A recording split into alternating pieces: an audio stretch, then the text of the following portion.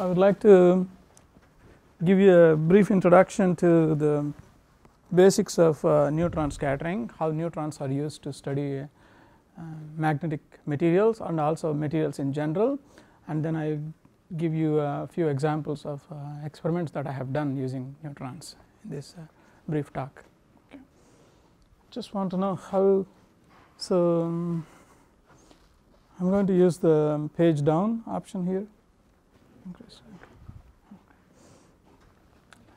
So, I am uh, from the Department of Physics and Astronomy as some of you know. Um, um, these days I have been uh, teaching a lot and I have less time for uh, research, um, but um, I hope to do more in the future too. Okay. So, the plan of uh, my talk is to give you um, some introduction like how um, what the properties of uh, neutrons that enable them to um, study materials and how neutrons are uh, generated and then the physics of uh, neutron scattering like how you can study a magnet or a crystal or a nanomaterial um, by sending a beam of neutrons onto it and then what kind of information you can find um, about the material. And then the recent uh, developments in various types of instruments like you know neutrons can have uh, energy or it can have a momentum the beam can have um, beam can be generated let us say with at a reactor or at a pulsed um, spallation neutron source. So, the instruments and methods vary depending on what how the neutrons are produced and also depending on what type of information we are uh, looking for. Okay. There are uh, several methods and in a short talk it is not uh, possible to cover all of them. I try to give a general overview and then I then I will give you two examples. One is how small angle scattering of neutrons from nano composites can be uh, used to understand the structure of nano composite materials. And then I will also give some example of um, another type of scattering it is called inelastic uh, neutron scattering and especially if you have um, single crystals of magnets this technique is uh, very helpful to understand how the energy is absorbed by the crystal and how um, so called the quantum mechanical state of um, atoms uh, changes okay. or some other type of excitations how the atoms can uh, vibrate and what kind of um, modes of um, energies that they can absorb when energy is sent uh, by neutrons into the crystal. So, those are the two things that I would like to focus and then I will try to give you a, a summary of uh, what is um, learned using um, these two examples and then try to give an outlook with um, new developments in the neutron scattering field what new physics um, you can uh, explore. And please feel free to stop me when something is not clear or you know if you have a question. So, let us start with the basic properties of a neutron. A neutron is a a fundamental uh, particle that is um, residing inside a nucleus and it is neutral. It has no charge. As you can see uh, it has a mass of um, 10 to the minus 27 uh, kilograms times 1.7 uh, it is heavier than an electron but has no charge. And it has a spin half. Spin is related to angular uh, momentum like it is like a top you know when it when a top is uh, spinning you know it, it has spin angular momentum likewise neutron um, you can think of it as a kind of a top. Um, so, you can associate an angular momentum and although it is written as half you know it is half times some um, a fundamental constant which is the Planck's constant. Uh, so, further details can be learned um, by uh, going into details uh, when one is interested. It also has uh, so called magnetic uh, dipole moment. So, it can interact with uh, magnetic materials. Okay. So, magnetic dipole moment is about 2 2 nuclear magneton.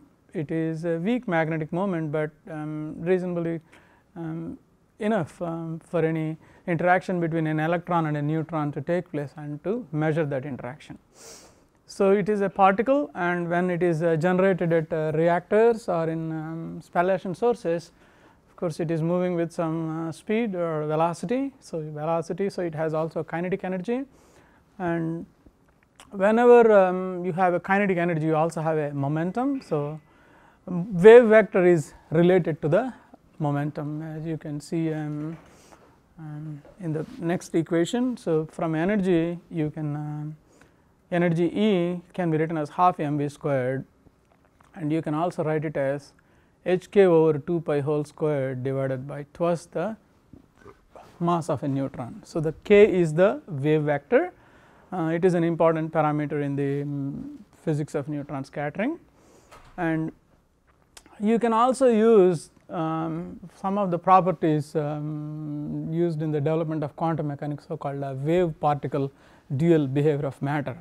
So, anything any particle that is moving with some velocity um, can not only be treated as a particle, but also be treated as a as a wave right using the uh, relation of uh, de Broglie wavelength. So, if you divide the so called the Planck's constant h with uh, the momentum of the particle you can actually calculate a wavelength or in other words the wave vector that you can calculate from the energy can be related to the wavelength which is 2 pi over uh, lambda right is k. So, we can have a particle like properties like uh, velocity and kinetic energy and also we can have a wavelength uh, for a neutron depending it, it depends on its uh, speed like how fast it is moving. And for the analysis of um, for the, for the experimental uh, applications um, especially for condensed matter systems we would like to uh, classify the energies of uh, neutrons into three different regimes neutrons with energies of um, milli electron volts, milli is 10 to the minus 3 of an electron volt. Electron volt is one of the fundamental unit for um, not, not fundamental it is a unit for uh, energy. It is related to the joules, but it is like very very small um, quantity of a joule which is like 10 to the negative 19th of a joule. So, it is a very small energy. Um, so, if the energies are um, in this range of 0.1 to 10 milli electron volts uh, of the neutrons, then we call those as cold neutrons, low energy. And then if the energy of the neutron is 5 to 100 milli electron volts, those are called uh, thermal neutrons. Okay. They have higher energy and as you can see the next regime is the hot neutrons which is 100 to 500 milli electron volts of um, energy and Next to that you also have a temperature scale in Kelvin to give you an idea like you know how, how hot uh, in terms of temperature you know because energy you know in the previous uh, equation there can also be expressed as uh, a constant called Boltzmann constant multiplied by temperature. So, the energy in milli eV can be converted into temperature uh, using that relation. So, you can get an estimate of um, what kind of temperatures energies we are talking about. Okay. And we also have this other relation that connects um, energy to the wavelength. So, using that we can also calculate wavelength and it is given in the nm which is nanometer, nano is 10 to the um, negative 9 power of uh, times a meter which is like 1 um, billionth of a meter. It is a very small uh, length scale. So, neutrons cold neutrons have very short wavelengths um, um, uh, short wavelength actually longer wavelengths compared to the other energies because you know it goes as the inverse um, of wavelength energy goes as the inverse of the wavelength. So, cold neutrons have longer wavelengths and hot and thermal neutrons have uh, shorter and shorter wavelengths. So, in an experiment uh, what we want to do is we want to pick a specific wavelength and do experiments um, on materials. So, that we know precisely the energy um, momentum and wavelength of the neutrons that are sent and we can analyze how um, those energies change or the wavelengths change. So, those are the uh, basic properties and um, equations that we make use of uh, to um, figure out what kind of neutrons uh, we need for experiments or um, and how to convert uh, their energy information into various uh, types of units. So, now let us look at how neutrons are absorbed uh, by various materials. Right. So, when we are planning to do an experiment with uh, neutrons, we have to send a beam of neutrons onto the sample and there are two things that we want to uh, consider. One is how deep the neutron can penetrate into the materials. If the neutron can penetrate deeply into the materials, you can get information the information of the uh, on the bulk of the material. If they can only penetrate like you know a few millimeters, a few micrometers, very very small distances, then you won't be able to study or sample the entire volume of the uh, material that you are interested in. So, how deep they penetrate into the materials also is one factor. Then the other factor is how much of those um, neutrons are absorbed by the material itself. To be able to uh, extract any information on the material from using the neutrons, the neutron should actually exit the material. If the neutrons are absorbed by the material, then you do not have any signal right. So, no there is nothing that tells you what actually happened to the neutron other than uh, knowing that it is absorbed. So, we, we can only study those materials in which the neutron um, can penetrate deeply and the neutron is not uh, strongly absorbed. So, in this um, small plot you have a nice comparison of how neutrons are absorbed by various materials and for a comparison it is also the plot also includes how um, X-rays are absorbed by materials and or how deep they can penetrate. As you can see neutrons are um, at the top. So, that means they can penetrate much deeper compared to electrons and X-rays which is a good thing. So, they can probe the entire volume of the sample. Um, in the case of uh, X-rays you have a systematic trend they can penetrate deeper and deeper into um, light Z materials and as the um, atomic number of the material increases they can penetrate only um, very short distances um, inside the material. But for um, neutrons there is no systematic trend as a function of the atomic number. There is kind of up and down uh, fluctuation um, for various atomic numbers. The only thing that we have to note is that for materials such as cobalt, cadmium and samarium penetration depths are very low or the absorption is very high. So, when we do the experiments with such uh, materials you know, or samples with such materials we are likely to lose a large portion of neutrons in the primary beam. So, um, the signal to noise ratio will be uh, much less.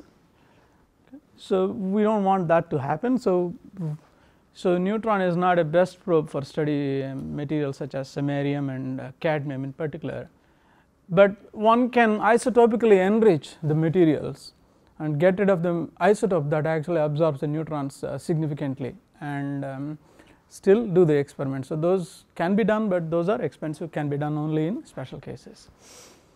But for um, other differences um, like if you take a look at this uh, plot at the very beginning like at the very lows hydrogen has um, can penetrate um, neutrons can penetrate very deeply into the hydrogen, uh, but they are also there is also a strong difference between hydrogen and its isotope deuterium, hydrogen, deuterium and tritium the absorptions are um, very different right. So, very highest, intermediate and the lowest. So, you can take let us say a biological molecule and if you want to find out where the hydrogens are uh, located you can um, um, let us say you can selectively uh, replace the hydrogens with the deuterium.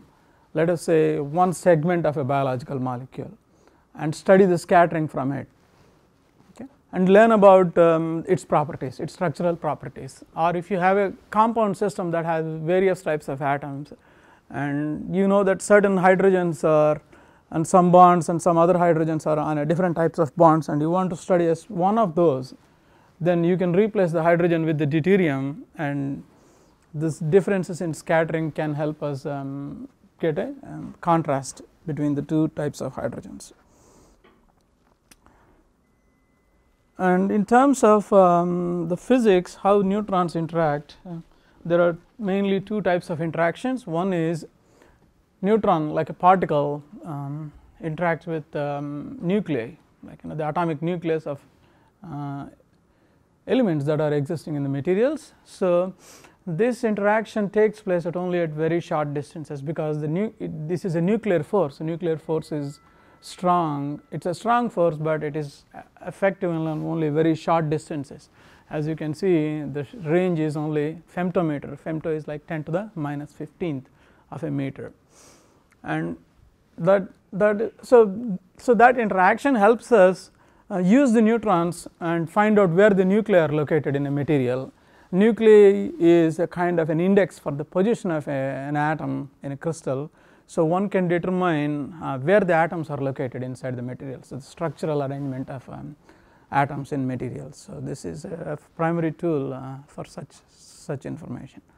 Every time a new material is synthesized or discovered, its structure should be um, figured out so that one can understand the relation between the structural structure and other properties. In addition to neutrons, X-rays can also give that information. So, there are some advantages uh, for using neutrons.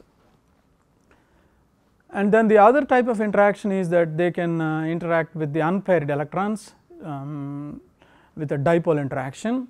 It is very much like you know if you place two magnets next to each other so, you have a north dipole and a north dipole they repel each other. Similarly, a south dipole and a north dipole attract each other right. So, likewise you can treat that neutron as like a tiny magnet and then electron like another tiny magnet. So, depending on you know how close it gets to it can have a dipolar interaction and its scattering is uh, affected by that. So, you can learn about um, the electronic properties of uh, materials also. So, you can learn about the structure and electronic properties. So, we will go into some more details um, now into how um, neutrons are produced. There are two types of uh, neutron sources. One type is a research reactor, the other type is a spallation source. Um, this is the, the main difference between the two is the nuclear reaction.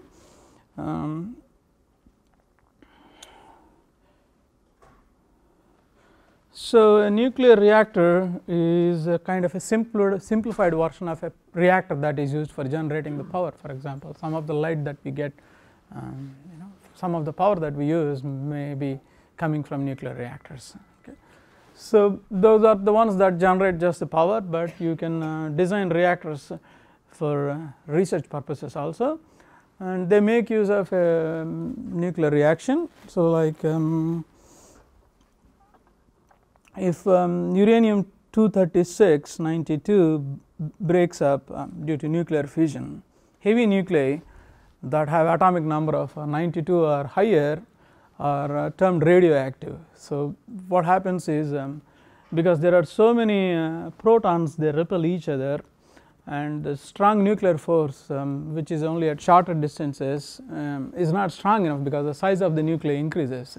So, they repel each other and then the decay process takes place. So, it prefers to uh, break up and become a smaller nucleus and become more stable. So, for that reason heavier nuclei such as uh, uranium break up by spontaneous fission. So, no external involvement it breaks up on its own and barium and krypton isotopes are generated, but interestingly together with that 3 neutrons are produced because this is like your chemistry reaction. On the left side if you add up all the atomic uh, number of nucleons and if you add up the number of nucleons on the right they should match. So, likewise um, the number of protons. Similarly, number of protons plus neutrons also should add up on the left side and the right side. So, they should balance nicely. So, for that reason reason if you have a barium isotope 144 and a krypton 89 isotope you have to have 3 neutrons also emitted in the reaction and then there is energy. This is the energy that is used to heat water and you know run turbines and generate uh, nuclear power. Okay, so, the 177 MeV goes into generating the power, but if you can collect these 3 neutrons you can do research with those. So, that is what um, is done at nuclear reactors. Okay. So, but the thing is um, in a reactor if you place a lot of uranium it can undergo fission. So, every reaction produces 3 neutrons. So, these 3 neutrons can break up another nucleus of uranium um, and then generate like 9 neutrons. So, it can become a chain reaction. So, in, at a reactor they slow down the neutrons, so that the probability of a secondary reaction is uh, reduced. So, they control the chain reaction uh, using moderators and produce only certain number of neutrons. So, that it, it is never um, it is kind of a, um, a, state in which it is not in a chain reaction mode, but it is kind of subcritical. So, that it is um, um, it can be operated to produce certain number of neutrons without causing a disaster. So, that is one type of source. The other type of source is called a spallation um, neutron source. So, in this um, you take a material such as uh, mercury. So, at spallation neutron source uh, in a lab national lab around here in Tennessee they use a liquid metal mercury because um, it needs to be cooled and if you have a liquid metal it's you can circulate and you can cool it. So, you use that as a target and then um, you use a proton beam as a um, as an impinging beam, but use a very high energy beam like giga electron volts 2 giga electron volts proton beam is uh, impinged onto the target such as mercury or tantalum and then these heavy nuclei break up and then unlike the nuclear reaction this is like an induced reaction uh, unlike the other spontaneous fission um, this is an induced reaction. So, you can actually generate like 20 to 30 neutrons per impact. So, you get a beam with large number of neutrons that is what is needed for research. So, these types of uh, sources have become uh, more popular in uh, recent years and they have advantages too. Just to give an example um, where I used to work uh, before coming here it's called Oak Ridge National Laboratory. They have a high flux uh, research reactor. It is one of the uh, highest flux research rea reactor in the United States. I think it was built in 1969 and it uses uranium 235 and it uses water moderator and some other uh, beryllium reflectors and it has been used for uh, research. So, that is the location in Tennessee and some further details like you know you have um, the uranium fuel here and then you know the reaction uh, is fission reaction is controlled and you can generate neutrons uh, and then you can place instruments um, all around the um, um reactor and then you have to monochromatize because react, a, neutron produced in such a reaction will have various energies and various wavelengths. So, you use materials such as silicon uh, crystals and use um, reflection or, or, so called diffraction uh, property of crystals to select a specific wavelength. So, if you have a, a selected wavelength then you can use that to study um, um, structure and also um, excitations in materials. So, I, I skip some of those additional details and then give you the other example which is called the spallation neutron source the the Oak Ridge National Lab also have another source um, like like the one I mentioned. So, it makes use of negatively charged uh, ions and those are accelerated with a with, a with an accelerator. It is not a circular accelerator, but a, like a linear accelerator.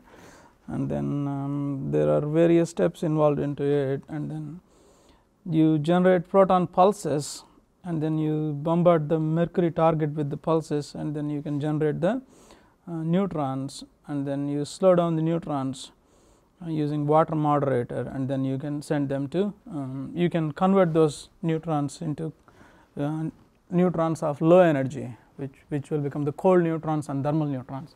Cold and thermal neutrons can be used for experiments. Hot neutrons are not suitable. Um,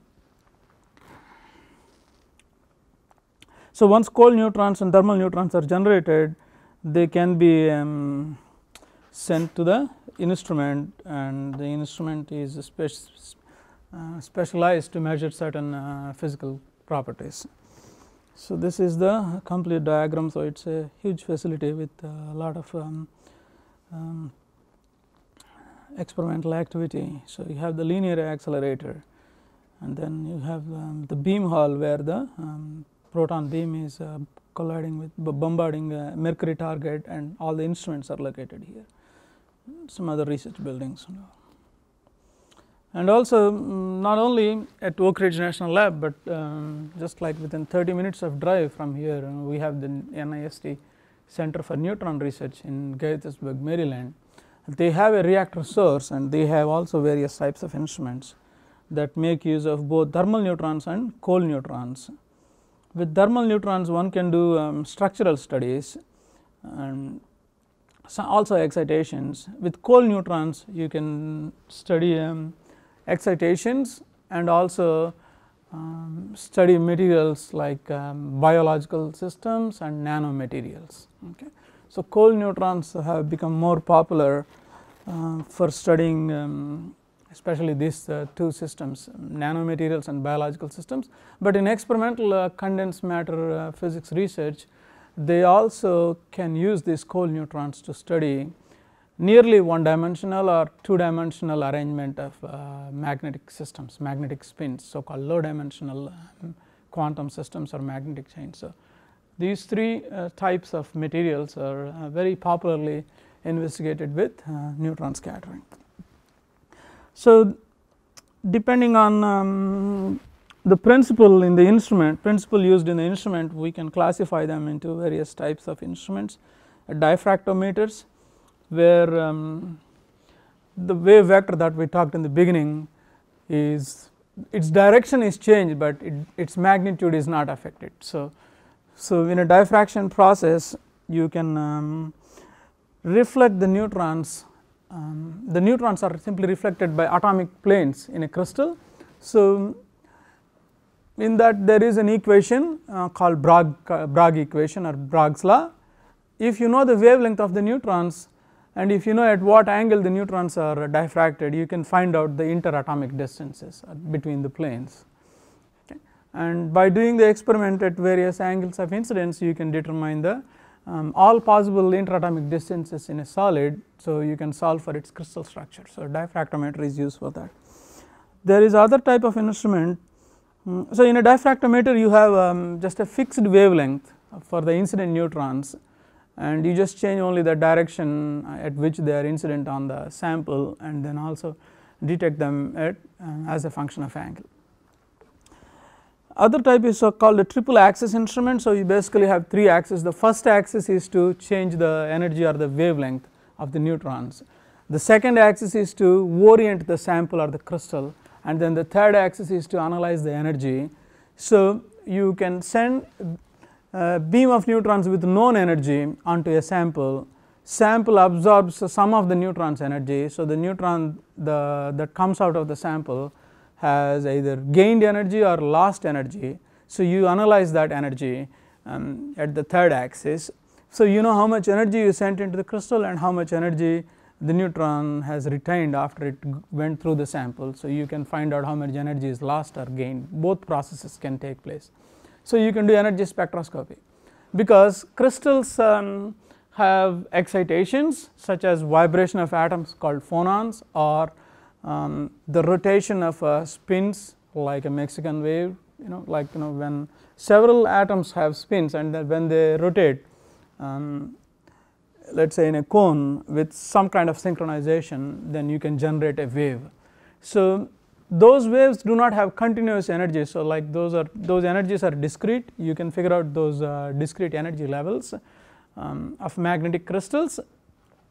So, the excitations like you know given an energy to the crystal how it is going to absorb and what energy values the crystal is going to absorb is what one can figure out because it is not going to absorb all possible energies only certain discrete energies are absorbed because of um, quantization like it can it can absorb only discrete values of energy. So, those can be studied and importantly by studying those properties you can actually find out what the system is like at the lowest temperature like you know, if you ever can cool the system to an absolute 0 how it is going to behave um, determines what kind of excitations it has when you give it uh, some energy or the temperature.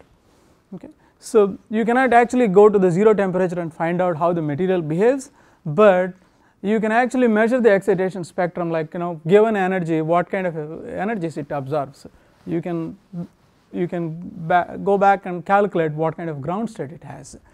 There is a there is a, lot of interest uh, from the theoretical uh, point of view also to figure out the ground state ground state of a system. theoreticians can actually calculate um, using mathematics and some advanced uh, computational techniques, um, advanced theoretical computational techniques, um, what kind of uh, ground state the system has and it will be um, the techniques are very helpful to test those uh, predictions. So, the triple axis is for that and then the other type is called a reflectometer.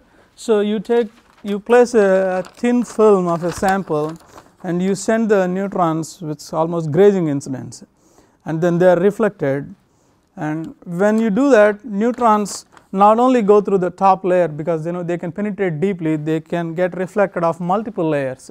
So, if you have a lipid layer if you have multiple layers and you can figure out um, the density of uh, matter. So, like the atomic distribution like what kind of atoms are there and how densely they are packed in various layers.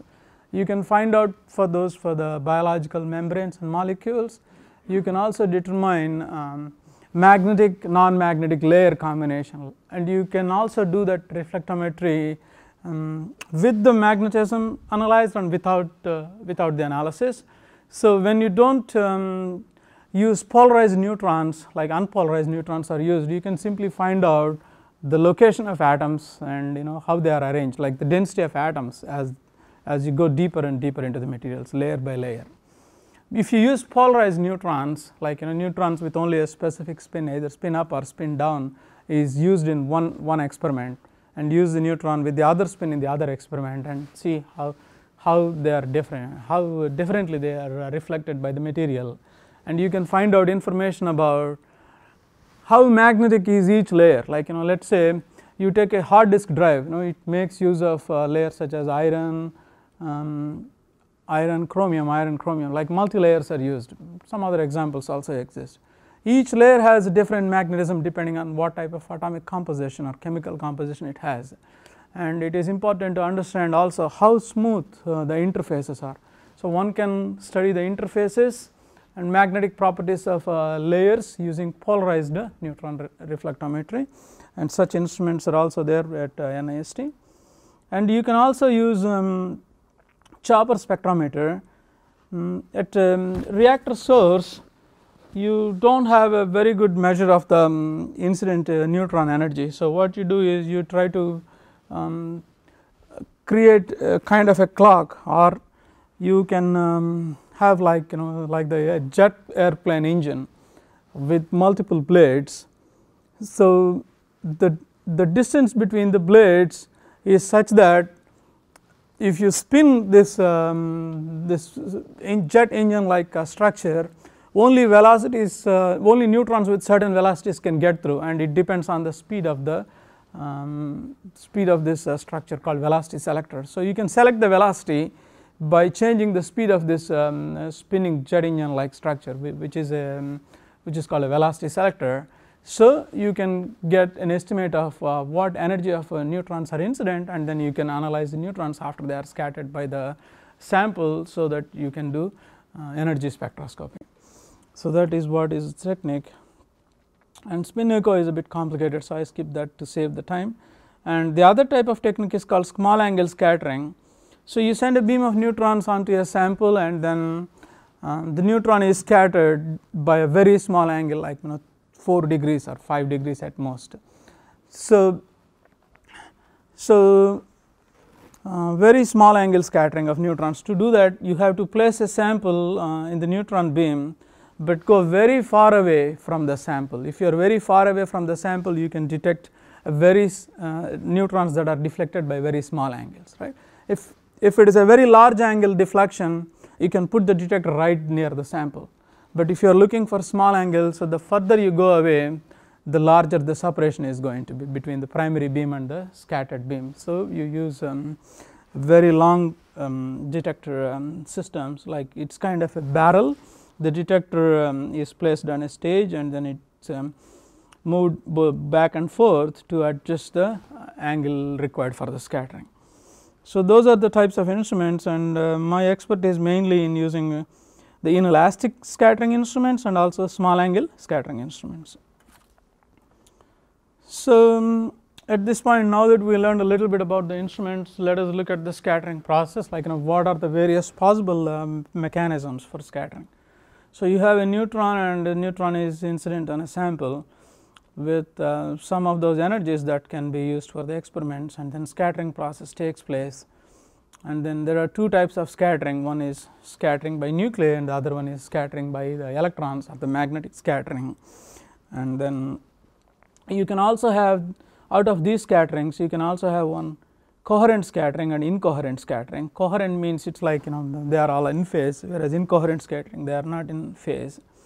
And again in each of these two types of scattering you can have an elastic scattering and an inelastic scattering. Elastic scattering means the wave uh, vector is simply uh, deflected. So, its direction changes, but magnitude does not change. In the case of inelastic scattering not only the direction, but its magnitude is also changed. So, when the magnitude of the scattering vector changes its energy is affected. So, it either lost the energy or gained the energy. So, elastic I am sorry. So, elastic scattering um, can be used to determine the structure uh, elastic and inelastic scattering can be used to determine the structure um, excitations. So, this is the physics that you can do. So, equilibrium lattice structures we say this because you know in, in any solid um, the temperature can actually make the atoms move. So, when we determine this crystal structure um, the atoms have to be in their equilibrium positions so that there is some kind of a coherent scattering between because when, when they go out of their positions they may not be nicely arranged in a lattice. Okay. But whenever like the short time that they spend in their uh, equilibrium positions you can get a coherent scattering or elastic scattering and then that can be used to figure out where the atoms are located and from the inelastic scattering as I said uh, you can get the magnetic excitations or vibrations and the incoherent scattering causes uh, both elastic and inelastic. It contributes to the uh, background. So, you deduct this background like you know you do experiments um, with the sample or with the, with a blank and then you can take the difference.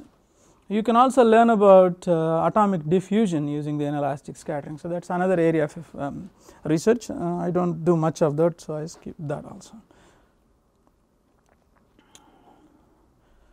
So, um, since neutrons can be treated as a wave you know they both have uh, both uh, they have both amplitude and the phase. So, the concept of um, elastic scattering is like you know um, the wave the neutrons get scattered by you know it, it, it, bombards an atom and then it is kind of scattered by uh, that atom and then goes to the another atom and then so it, it, it, undergoes uh, multiple scattering process. Mm. So, but in this in any of those scattering processes it does not change its magnitude but you can have other case where the uh, magnitude and direction both are changed. So, that becomes the inelastic scatter just a cartoon. So, what is small angle neutron scattering is it elastic or inelastic it is the coherent part of the scattering and it is the elastic scattering predominantly. So, depending on the sample if the samples have materials such as hydrogen it can also have um, some incoherent scattering and it can have a small inelastic contribution also. So, it is not a pure um, elastic scattering, but, but for most of the materials we study or we selective in such a way that uh, the small angle scattering is dominant and then the other contributions are subtracted um, by choosing suitable samples. So, skip this. So, then there is this uh, quantity called uh, neutron scattering cross section. So, when a neutron is uh, let us say gets uh, scattered by an atom by a nuclei, you can um, define a parameter b and if you use um, 4 pi uh, b squared like, like some kind of a sphere like the effective sphere seen um, by the neutron. So, like okay. So, it is a little um, more uh, into the nuclear physics here. So, you can basically associate a number that measures the scattering power of a specific nuclei. So, these this b value depends on the type of nuclei like you know carbon 12 may have some b value and carbon 14 may have a different b value. So, these b these b values determine like how strongly they can scatter the neutrons. So, higher the B higher the scattering. Um, uh,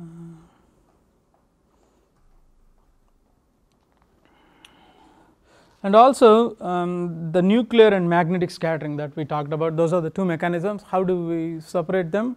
They take place at different k, k values or different wave vector values. Yes. And you can uh, distinguish uh, the difference between the two types. So, now um, the main advantage of small angle scattering is that you can study um, um, nanostructured uh, materials such as pores in um, some crystals or nanoparticles or some peptides or you know um, po polymers a lot of materials uh, that have structures in the range of 1 to 100,000 nanometers. The principle of small angle scattering is like this. So, you have an incident neutron beam of a specific wavelength sample is placed in its path and it is scattered. So, so the incident uh, neutron wave vector is let us say k s okay, and then the no k i is the incident neutron vector and then uh, k s is the scattered vector and if you take the difference you can get the uh, wave vector q. So, in an experiment you basically determine uh, the pattern on the detector like you know when a neutron is scattered and it hits the detector at various places around the central beam and by looking at the pattern you can learn a lot of information. Um, the q we call uh, the momentum um, the wave vector is basically related to the angle the higher the angle the larger the q. So, the scattering uh, of neutrons is simply determined by uh, two factors one is this factor f the other one is the g. The f helps us figure out what kind of shape the scattering particles have. Then the g helps us understand like how the structures are uh, located like what is the interatomic distance between them and how densely they are located. Okay. So, if you have a fractal um, system, a fractal is something that it replicates itself like it, if you have a 3D mass fractal like the Romanesco broccoli, you know it has the same structure, but it is replicated in all directions. So, then you can get power laws in the intensity of neutron scattering as a function of the um, scattering vector. So, you can um, fit those power laws and figure out what kind of fractals are existing in the system. Okay. So, we studied a sample called uh, magnesium oxide uh, with doped with nickel thin films um, grown on strontium titanate. So, these um, films were uh, grown by laser ablation. So, you can see that magnesium oxide um, grows like rods and then there is a network of rods. So, 3 dimensional networks, but they are they are mainly in two directions like the 1 0 0 direction and 0 1 0 0 direction on the substrate. So, we did small angle neutron scattering on this sample and it also has 9 percent of nickel and nickel forms the spherical nanoparticles and the growth modes are like this. So, like you know initially you have a rod of uh, magnesium oxide and then you have a droplet of nickel and then that continues. So, you have the rod like networks of uh, magnesium oxide and also nanoparticles in between these two combined you know produce an interesting scattering pattern in the sense. Usually you get a spherically symmetric pattern like a circle or you know some kind of asymmetric pattern like an ellipse, but having this eightfold pattern is um, very surprising and we spent like last uh, several months to understand this uh, data. First we fitted the scattering intensity with the power laws and got these exponents. So, the exponent 3 negative 3 indicates that there are 3D mass fractals of these um, nano rods and then the exponent of neg sorry the exponent of negative 4 indicates that you have like smooth surfaces again of the nano rods and then the exponent 1.5 indicates that you have one dimensional um, structures with projections. So, that is how the nano rods and uh, nickel nanoparticles are connected in the system. In addition the intensity of these peaks um, can also be analyzed. So, if you actually look at this these peaks are nicely separated by 45 degrees because it is 8 fold symmetry. Uh, we fitted this with 8 Gaussian peaks and that is how the fit looks like. So, as you can see the solid solid curve is the fitted one and then the dots are the experimental data. So, so these are the peaks that are approximately separated by 45 degrees and um, those are the intensities. Interestingly, there is a relation like you know the highest one is in the 90 uh, 270 degree direction and then the next combination of pairs is one half of that and the next combination is only 40 percent of the highest and then the other 180 360 pair is only one third of the highest. So, interesting relations are there and we interpret this like this. So, the rods are predominantly in the vertical and the horizontal direction. So, they give 4 of those spots, but the nickel dots can be connected either in the vertical, horizontal or also in the diagonal directions. So, the nickel contributes to all the 8 peaks. So, that is why their intensities are also not the same. Okay, so it is time up I think. So, I would like to stop around here I think. Gracias.